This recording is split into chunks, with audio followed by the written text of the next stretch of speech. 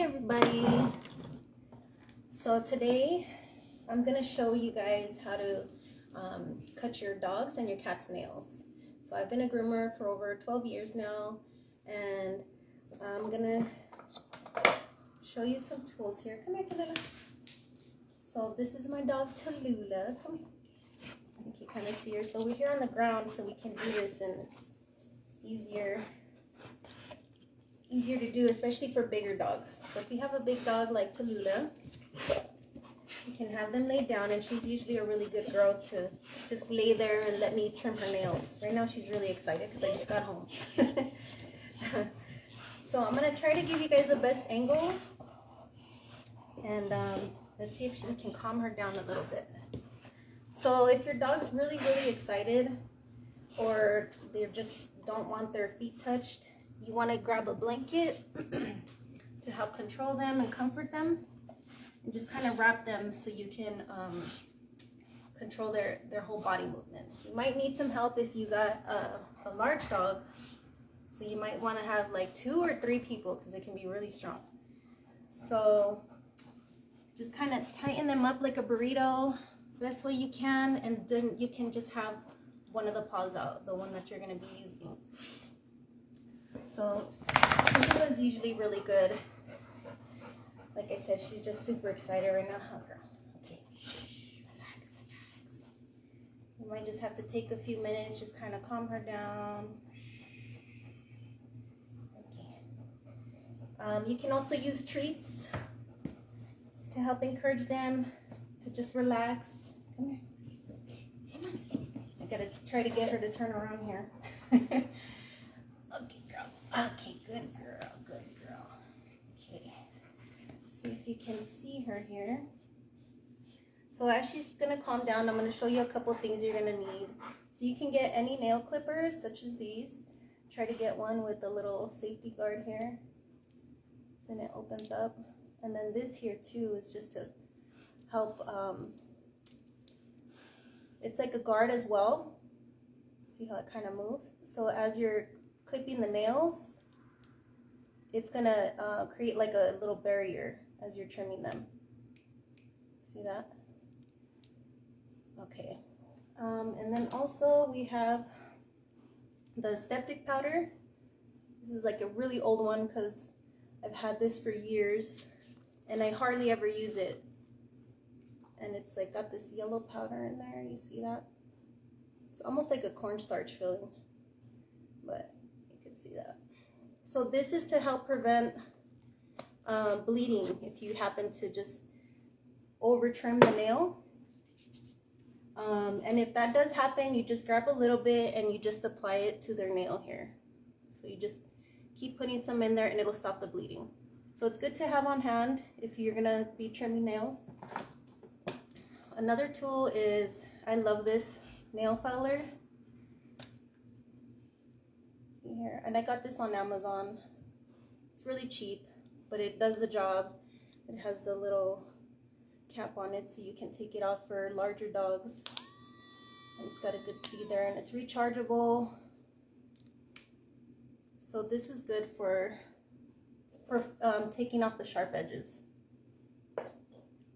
Now real quick, as Tallulah's still calming down, I'm going to give you an example of what a nail can look like. So I know it's kind of hard to see, but um, so I got a veggie chip here just to kind of show you an example.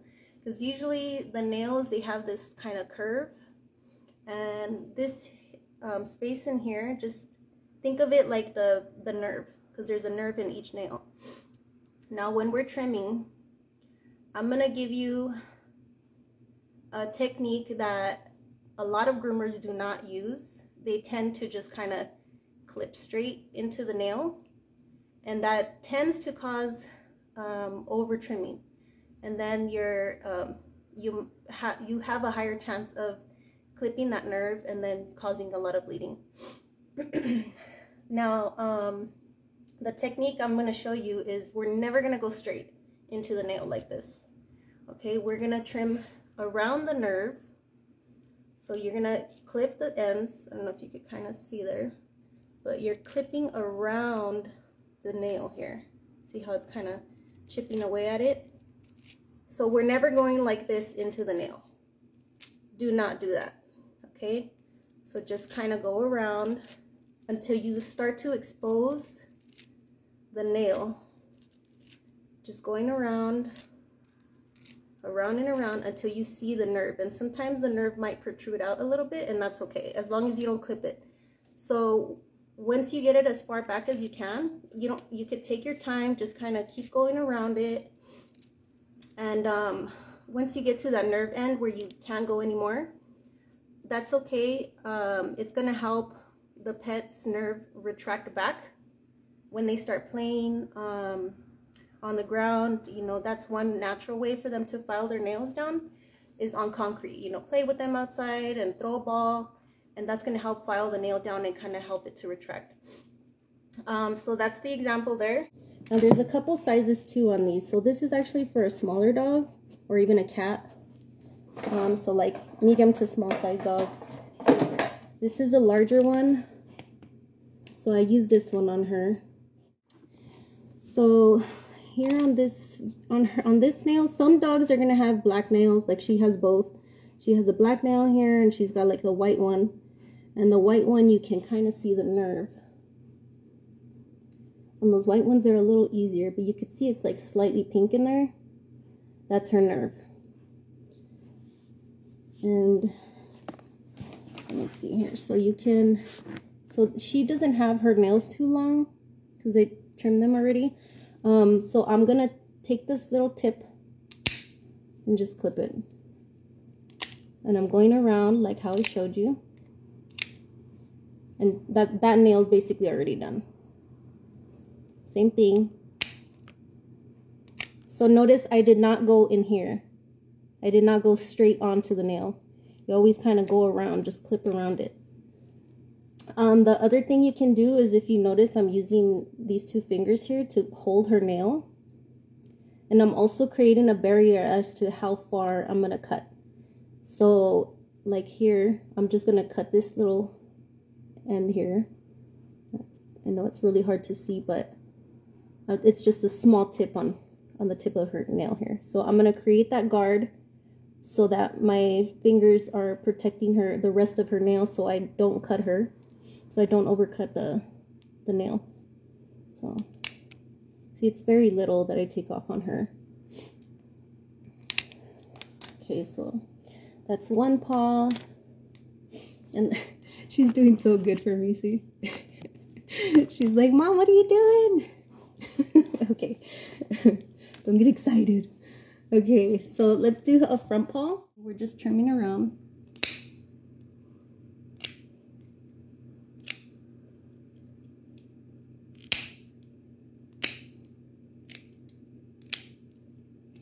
Now let's just say I did cut the dog. You can grab your powder and just have it ready here. Just grab that little bit and you're just gonna press on it and just kind of hold on there.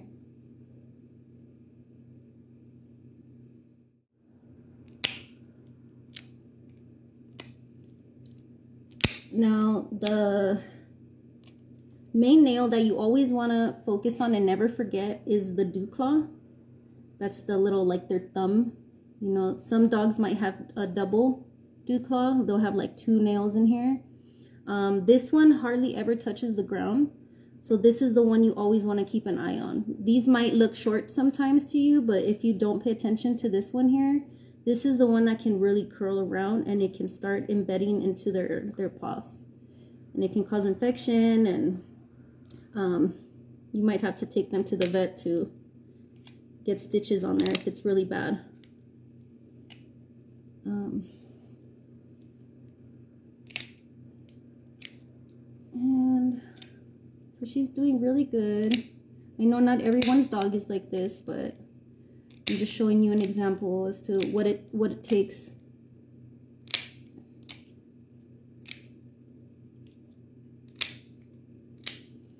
Okay. One thing about nail filers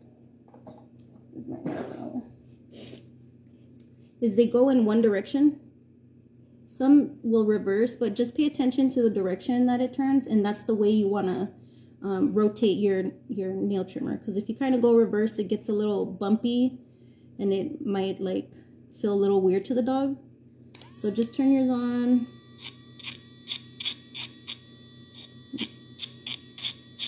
And you're just taking off all the sharp edges. So this is going to help save your couches and your legs. Because if you have a lap dog that likes to be with you, going to scratch you up.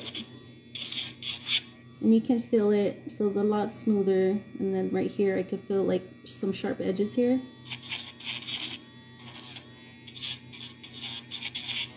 I recommend getting a, a really good um, nail filer.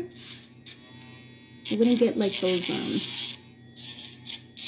like, so this tip here, I believe it's like, um, what is it, stainless or like a metal. If you get those like replaceable, like, um, they're like sandpaper. Those are really cheap and they just, they go out right away. So I recommend getting one like this where you can just replace this whole bit.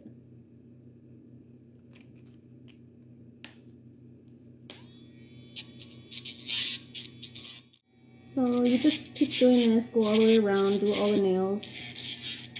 And you know, um, if you want to have a dog to get used to this, just kind of encourage them with um, some treats. You know, give them maybe a chew toy that they might like and they could just kind of lay there. Um, some peanut butter will distract them too. So pretty much she's done. I'm telling you, a good girl. She just likes a lot of loving kisses, huh? There's such thing as cat nail trimmers. These are good too for puppies. You know, it just, um, you can even use um, your regular nail clippers um, because their nails are so thin. Hold on, she's camera shy. Okay. So you kind of just press on it See how the claw just retracts? I mean, um, extends out. See, so they go in naturally and then you just kind of press on it and they pop out. To grab them by the scruff. I know it kind of seems harsh to some people, but their mothers would hold them up on their neck here. So this is the easiest way to control a cat. Trust me, you do not want to get scratched or bitten by a cat. so same thing, you wrap them in a blanket or a towel. They even have a uh, cat muzzles where you can, it kind of covers their, their eyes because sometimes it's easier for them to just not see. I usually don't cut her nails this way. She, she'll usually just let me do it, but just showing you as an example what you can do with your cat. Just burrito them. Look at her, so cute. Ooh, she's a baby. Pop a hand out, or paw, I mean. See? So it's easier to control. You might need someone to help you. Okay, so don't forget they have dew claws too, so you could kind of see it hang out. So there's the same nail trimmers. So these are easier. No, there's no need to go around, you know, and taking your time like you did with the dog, but um, it's just, just take the, the tip off on cats. You don't want to spend too much time. So where I'm stopping, obviously is right, right before the, the nerve because I can see it. The way the nail um, grows too, you, you see like that curve. You want to stop right where the curve's at. It's been a long time since I've done her nails. But so she's fighting me for it. Okay. Do you have to disinfect your clippers after you use them on your dog? Just asking for a friend. of course, you want to disinfect anything. And I will find my um, disinfectant for you. So you can always use alcohol um, and just kind of wipe it down between uh, pets.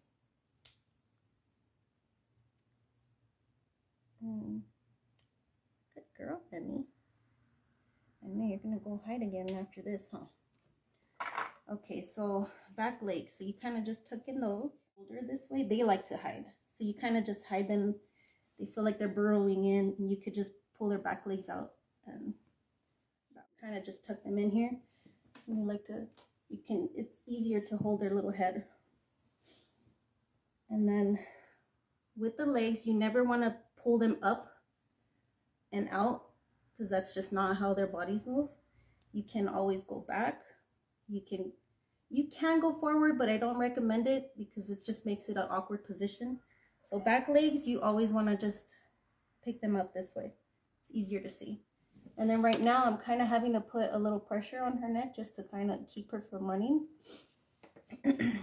now, let's say someone's helping you. The way to hold a, an animal, whether it's a dog or cat, you hold you want to hold the front legs like this so see, I have my hand here, putting one finger here, my thumb here. And then with your arm, you want to restrain their neck because you don't want them to turn and bite someone. So you want to control the neck and the legs. So you always hold this way. Okay. And then so whoever's cutting the nails, it's easy for them to just grab the, the paws from down here without getting bit. Same thing, they can grab from here because you're the one in charge to restrain the dog. So you're holding it up against you. This arm is just applying pressure to hold them, hug them, make them feel secure. okay, back leg. So same thing, I'm just pushing on the paw and the nail pops out.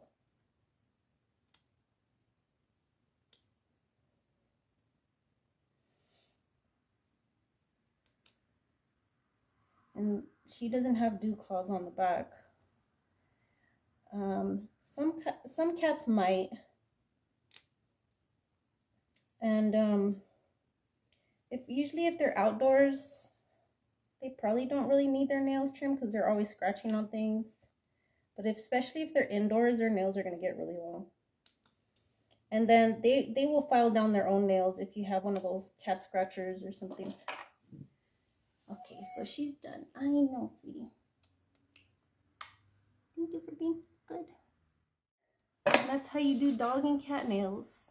Oh, the disinfectant. Um, Clipper Cool. Like I said, this stuff's like beat up right now. So it will cool and lubricate and it even cleans your clippers, which if you do like, so these are the clippers. When you're grooming your dogs, you clean with, you spray it on here and just wipe it off. You can let it set in for a little bit.